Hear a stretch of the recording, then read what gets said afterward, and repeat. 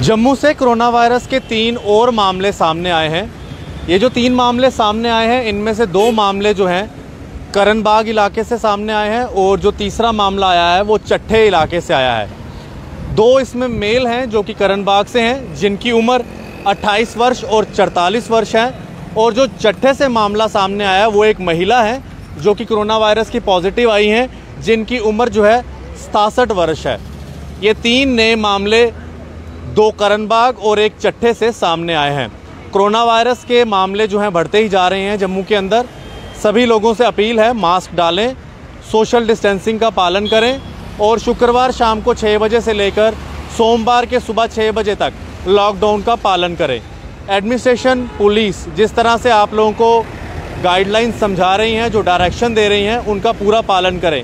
क्योंकि अगर आप लोग मास्क नहीं डालेंगे, सोशल डिस्टेंसिंग को फॉलो नहीं करेंगे तो पाँच सौ रुपये से लेकर तीन हज़ार रुपये तक का चालान जो कि डिस्ट्रिक्ट एडमिनिस्ट्रेशन ने निर्धारित किया है, वो आपको देना पड़ सकता है। फ़िलहाल तीन नए मामले जम्मू से सामने आए हैं। दो लोग जो हैं करणबाग से हैं और एक महिला चट्ठा से।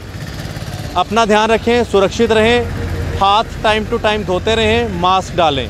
जय हिंद, धन्यवाद।